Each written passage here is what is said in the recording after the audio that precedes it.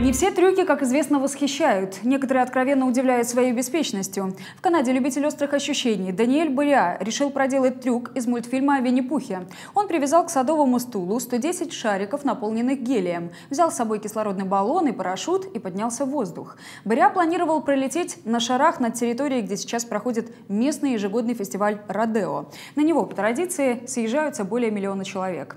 Там молодой предприниматель должен был прыгнуть со стула с парашютом и тем самым привлечь внимание к чистящим средствам, которыми торгует. Однако все пошло не по плану. Мужчину снесло ветром на 2 километра западнее пункта назначения. Пришлось прыгать с парашютом там. Внизу молодого бизнесмена уже ждала полиция. Теперь канадцу придется предстать перед судом. Ему предъявлено обвинение в совершении действий, опасных для жизни не только своей.